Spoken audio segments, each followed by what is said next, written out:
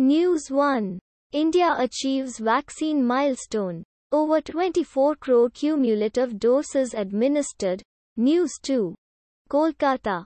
Two history sheeters from Punjab killed in shootout with police. News 3. Amid row. Bharat Biotech says it will conduct phase 4 trial of Covaxin. Phase 3 data to be out in July. News 4. Mamata assures support to farmers stir.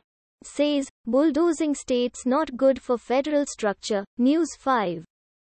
Gov approves allotment of 5 MHz spectrum in 700 MHz band to Indian Railways. News 6. Congress must reclaim position as India's Big Tent party. Milind Deora after Jitin Prasada exit. News 7.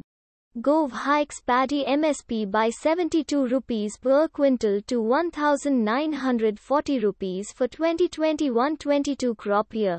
News 8. Will the third wave of COVID-19 affect kids?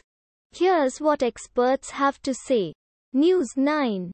Complete lockdown in Jharkhand from June 12 evening. Essential services exempted. Check what's allowed. What's not. News 10. Captain vs Batsman. How Amarinder Sidhu fight has kept Punjab Cong on the boil.